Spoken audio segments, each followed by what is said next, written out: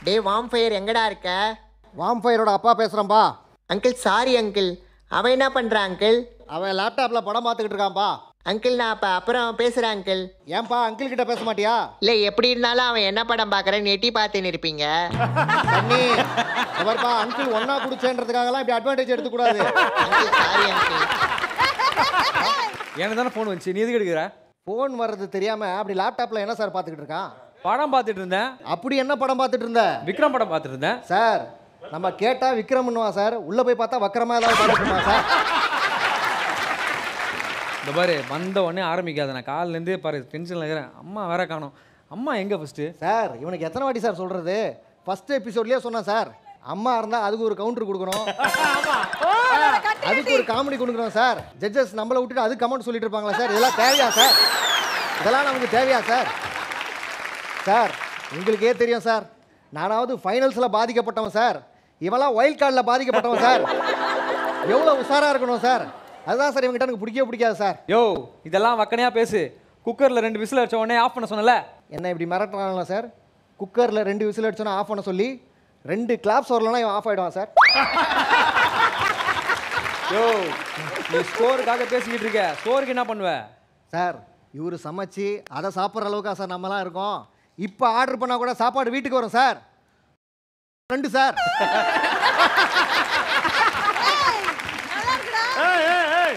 Sir நான் ரொம்ப நல்ல ஆரோக்கியமாக இருந்தேன் சார்.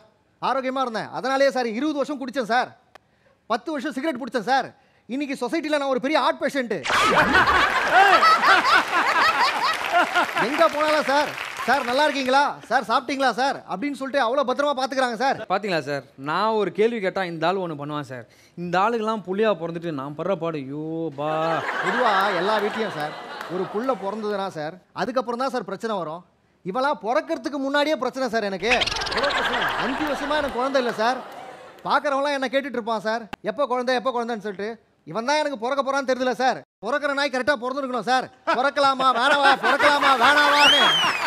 அதில் ஒரு குழப்பம் சார் இவனுக்கு. சரியே கிடையாது சார் இவன். குழப்பவாதி சார் ஃபுல்லாகவே சுற்றி எல்லாம் பார்க்குறாங்க அசிங்க பற்றி இருக்கிற பாரு. நான் திருப்பி அசிங்க பார்த்து ஒரு நிமிஷம் கூட ஆகாது சொல்லிட்டேன். சார் இவர் பாருங்க சார். இவன் இன்னைக்கு நேத்தா சார் என்ன அசிங்கப்படுத்தினா ஏற்கனவே அசிங்கப்படுத்தினா சார். உங்களுக்கு தெரியாத ஒன்றும் இல்லை. நான் வந்து கல்யாணம் பண்ணிக்கோ கல்யாணம் பண்ணிக்கோ சொல்லும் போதெல்லாம் முரட்டு சிங்கிள் முரட்டு சிங்கிள் சொல்லி தான் சார். இப்போ ஏஜ் பாராயி சார். முரட்டு அங்கிள் ஆயிட்டான் சார், முரட்டு அங்கிள் ஆயிட்டு எப்போ எப்போ எப்போன்னு காத்துக்கிட்டு இருக்கான் சார். யோ எல்லாத்துக்கான நீதாயா? அப்போ எனக்கு ஆசைப்பட்ட மாதிரி நான் மீடியா ஜாப் போயிருந்தேனா அப்படியே ரவுண்டு வந்திருப்பேன். எல்லாம் உன்னால் தான். அப்படி மீடியாவில் போய் என்ன பண்ண போற நீ? நான்லாம் காலேஜ் டைம்லேயே நான் வந்து நல்லா ஒரு ரவுண்டு வர வேண்டியது. அப்பயே சும்மா லவ் கிவன் அலைஞ்சிட்டேன் சார். அதனால அந்த மீடியா சார் படிச்ச பொண்ணா பார்த்து லவ் பண்ணான் சார்? அந்த பொண்ணு இவன் சேட்டெல்லாம் எடுத்து படிச்சிச்சு சார். உடனே பிரேக்கப் சார். அடுத்தது சார் இவர் இன்னும் பிரில்லியண்டா யோசிச்சு படிக்காத பொண்ணா பார்த்து லவ் பண்ணான் சார். இவன் படிச்சவன்ல சார் அந்த பொண்ணு சேட்டை எடுத்து இவன் படிச்சான் சார் உடனே பிரேக்கப் சார். சார் இப்போ கூட சொல்றேன் சார்.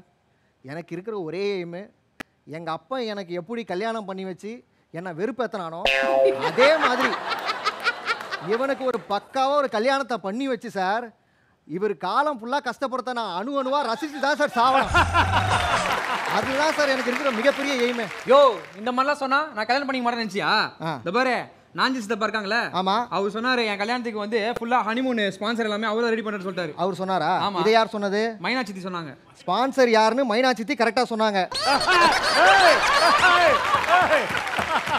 இதை நாங்க நம்பணும். எத்தனை எத்தனை எபிசோடு பார்த்துட்டு இருக்கோம் தெரியுமா? யோ அதெல்லாம் முடியா யோ அம்மா அம்மா வரதுக்குள்ள பிரியா கிட்ட அந்த லவ் மேட்டர் மட்டும் பேசியா? பொண்ணை பெற்றவங்க அவங்களே இறங்கி வர மாட்டாங்க பையனை பற்றி நான் ஏன் சார் இறங்கி போனோம்? அவங்க அம்மா வயித்துல ஹாஸ்பிட்டல் இருக்கும்போது சார் பிரசவ வார்டு ஃபர்ஸ்ட் ஃப்ளோர் சார். நான் வந்து செகண்ட் ஃப்ளோரில் மெடிக்கல் ஷாப்பில் இருந்தேன் சார். நர்ஸு குடு குடு குடுன்னு ஓடி வந்து சார் உங்களுக்கு ஆம்பளை புள்ள பிறந்திருக்கான்னு சொன்னாங்க சார். இறங்கி வந்தீங்க. உடனே ஃபர்ஸ்ட் ஃப்ளோர்ல இருந்து எகிரி குச்சேன் சார்.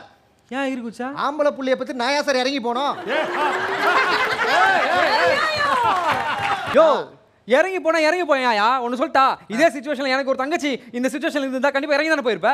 அதான் கொன்னுட்டியாடா. கொண்டனா அந்த குழந்தைய இந்த உலகத்துக்கே வரவில்லை சார் இவன். நானா? ஆமாம் சார். என்ன சொல்ற? நைட்டு ஃபுல்லாக தூங்கவே மாட்டான் சார். அழுதுகிட்டே இருப்பான் சார்.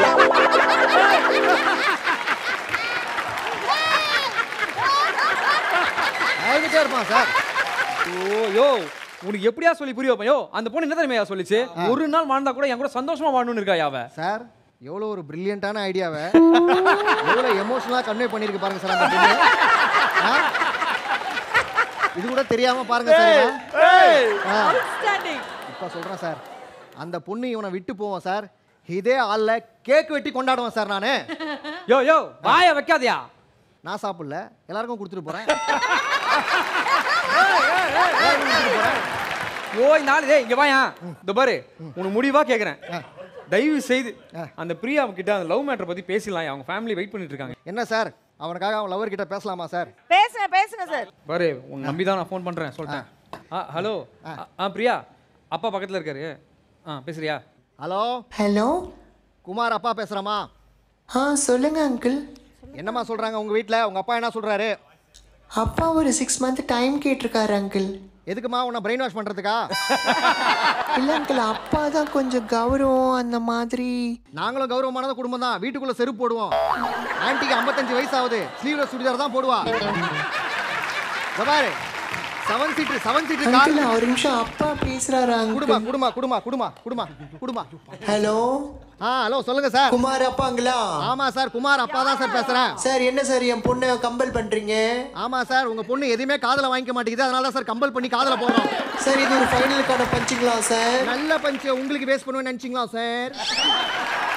ஒழுங்கா பேசுங்க சார். சார் ஒழுங்கா தான் சார் பேசுறேன். சார் அவங்க கால் போட்டு லவ் பண்ணா பரவாயில்ல சார். ஷால் போட்டு பீச்சில் லவ் பண்ணிருக்காங்க சார். பண்ணிருக்கட்டும் சார். சார் அவங்க லவ் பண்ணதுனால நம்ம காதை காதை வச்சா கல்யாணம் பண்ணிக்கிறோம் சார். டேய், டேய், டேய், மழை வருதுடா. மழை வருதுடா. போய் ஜெட்டி எடுத்துடா பால்கனில யோ யோ யோ அவர் ஒரு பக்கத்துல இருக்காரு போட மாட்டானா? அங்கிள் வேற எதெல்லாம் கேட்கணும்னா கேளுங்க அங்கிள். உங்க அப்பா ஜெட்டி போடுவாரா? உங்க அப்பா ஜெட்டி போடுவாராமா யோ யோ யோ யோ. அப்பா ஜெட்டி போடுவாரா ஏ அவதான் வேற எதனா கேளுங்கண்ணா யோ, கேளுங்கண்ணா. அதே கேட்டேன். அவனா வேற எதனா கேளுங்கண்ணா கேளுங்கண்ணா. இந்த பாரு நான் மீடியால என்ன ஆக போறேன்னு தெரியாம பேசிட்டு இருக்கேன் நீ. அப்படி என்னப்பா ஆக போற? யோ மீடியால என்ன வேணா ஆகலையா? நான் கலகலன்னு பேசணும்னு வச்சுக்கேன். நான் ஒரு ஆங்கர் ஆகலாம். நல்லா டான்ஸ் ஆடணும்னு வச்சுக்கேன். நான் கோரியோகிராஃபர் ஆகலாம். நல்லா பாடம் நான் சிங்கர் ஆகலாம். இந்த எல்லா டேலண்ட்டையும் சும்மா கரைச்சி குடிச்சுன்னு வச்சுக்கேன். நான் ஒரு ஜட்ஜா கூட ஆகலாம். ஃபைனல்ஸ் அதான் திரும்பவும் சொல்றேன் சார். ஃபைனல்ஸ்ன்ற சீரியஸ்னஸ் தெரியாம ஜட்ஜஸ் எப்படி ஓப்பனா ஜட்ஜஸ் எப்படி ஓப்பனா கலாச்சிட்டு இருக்கான் பாருங்க சார்.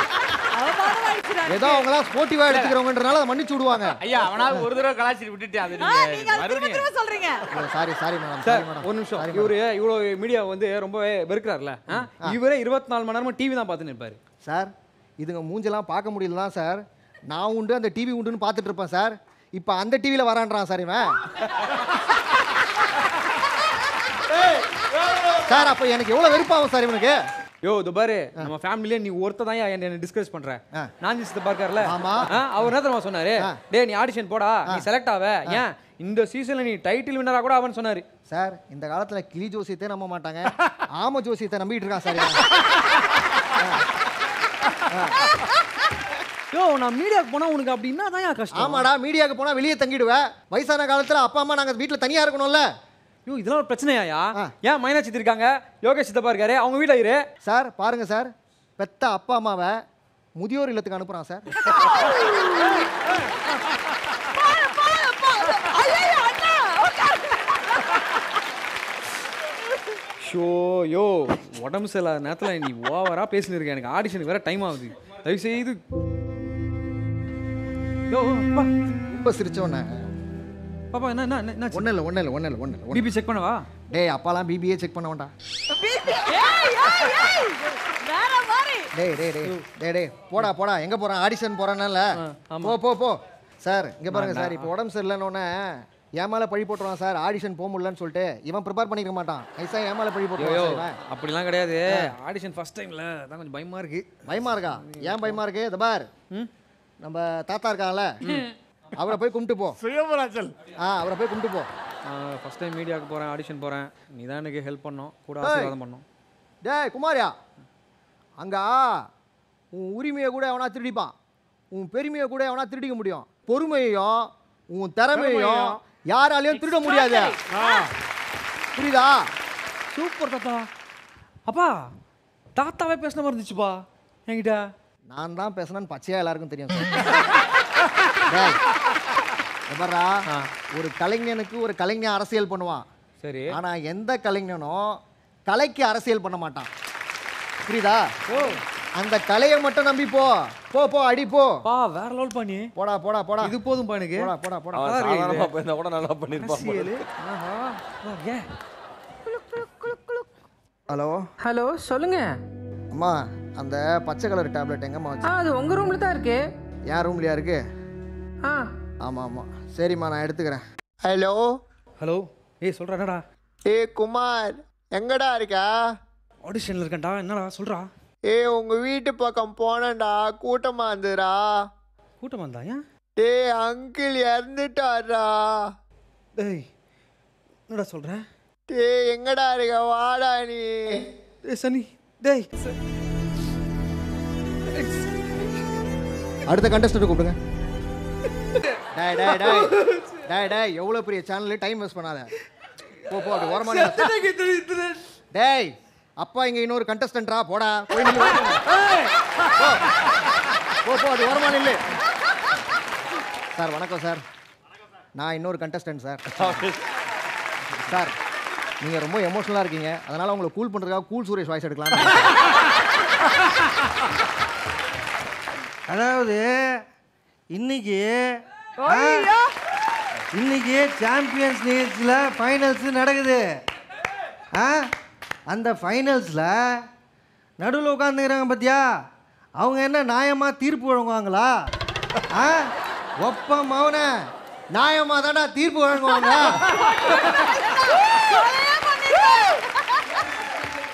வெந்து தணிந்தது காடு.